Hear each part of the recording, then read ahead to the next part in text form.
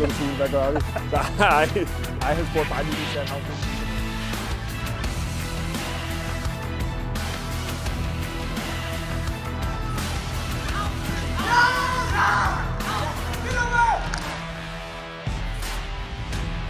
Oliver Jeppe, 18 år, defensiv midtbane og anfører Brøndby 19. Okay, jeg prøver lige en gang til.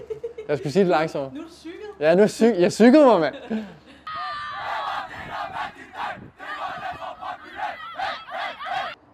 Christian, øh, 1-1 mod OB i dag. Øh, er det til, øh, tilfredsstillende resultat, øh, kampen taget i betragtning? altså vi må sige, kampens forløb, der, der, der er 1-1 vel meget fair. Altså vi har en halvleg hver. Øh, vi, vi, er, vi er ærgerlige over, at, at første halvleg udmyndter sig, som den gør. Altså øh, banen kan give problemer, men den kan også give nogle andre ting, der er gode. Og det er vi bedre til at sætte i spil i anden halvleg end i første halvleg. Og det, det, det er vi ærgerlige over. Altså vi er ærgerlige over, at, at lige præcis på noget af det, som vi er, er gode til, og skal være gode til, øh, i forhold til at, at, at både at genvinde bolden, kunne få sat noget fart ind i kampen, øh, der får vi ikke gjort det nok i første halvleg. Øh, så det, det, det er over os lige nu, og det er også selvfølgelig, at, at når man slutter på en stærk anden halvleg, så vil det være den følelse, man tager ved videre, at hvis nu bare vi lige havde fået det der øh, 2-1-mål, vi kunne have fået i anden halvleg. Men, men kampen sådan generelt, der har vi en halvleg hver. Ja, jeg er totalt skuffet lige nu. Så der er, det er aldrig nogensinde sjovt at spille uafgjort heller. Det er kun sjovt at vinde jo. Men øh, så det er bedre end ingenting, ikke? Det er bedre end at gå herfra med, med 0 point. Så vi, øh, vi bliver ved og, og prøver at rykke op i tabellen.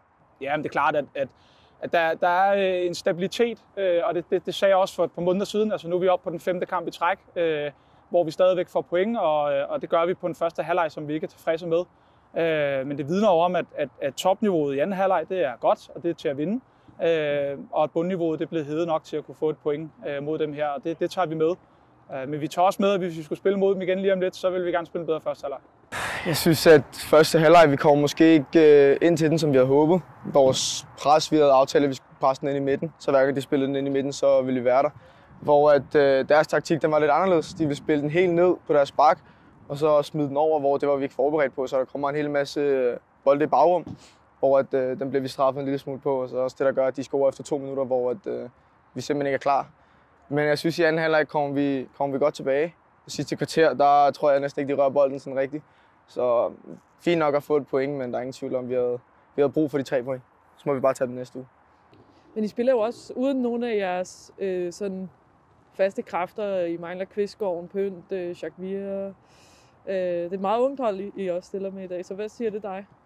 Øhm, jamen det siger, at, at de spillere, vi sender på banen, de skal løse opgaven.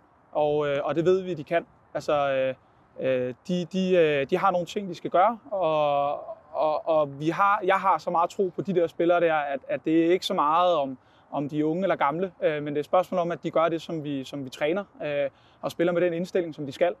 Øh, og det gør de. Og, øh, og det, at vi så mangler nogen, det gør, at der er nogle andre, der kan træde til. Øh, nogle gode spillere, øh, som vi også får vist frem. Så, så det, øh, det er det, det, det, der er i matchning øh, af, at, at blandt andet Pynt og Kvist, de, øh, de så får, øh, får kamp øh, lidt senere på ugen øh, og bliver matchet en anden vej rundt.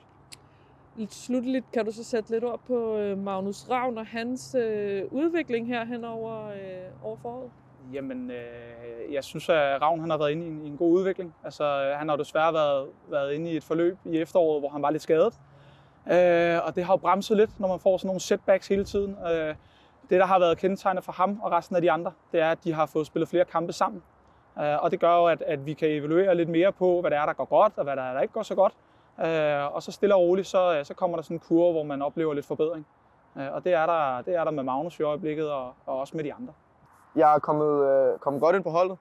Havde lidt øh, i starten af sæsonen, havde haft nogle, nogle skader indimellem, og havde ikke, øh, havde ikke fået øh, fuld tid hver gang, og havde, øh, havde lidt svært ved ligesom at komme i gang øh, og finde min plads i systemet. Men øh, her på det sidste er jeg begyndt at finde min form og, og mine styrker, og gøre det, jeg er god til. Så det er godt at være tilbage, hvis jeg kan sige det sådan. Tak, Ravn. Lidt.